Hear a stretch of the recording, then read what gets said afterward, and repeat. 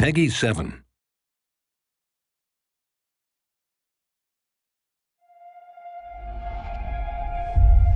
I love Europe.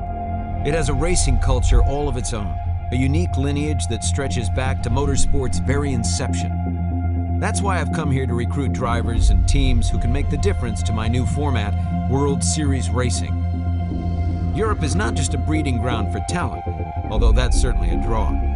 They do racing differently here, too. Take eliminator events. They are ruthless. They respect neither the marque you're driving nor the reputation you've built up.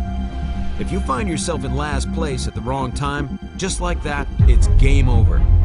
A club like Eliminacion doesn't tend to make that mistake. I'm coming for them. That desire to race is in the blood here. Touring cars and grip driving have a strong foothold. They respect their history, but keep pushing the limits. And I need teams like Euro Rand on board to give my league a hard-boiled, old-school legitimacy. Out on these roads, drivers require a different kind of focus, the kind where the world outside the car and the asphalt cease to exist.